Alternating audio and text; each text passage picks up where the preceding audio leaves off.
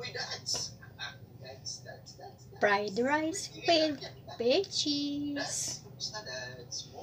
So yummy. Sa akin, hindi ka nawa.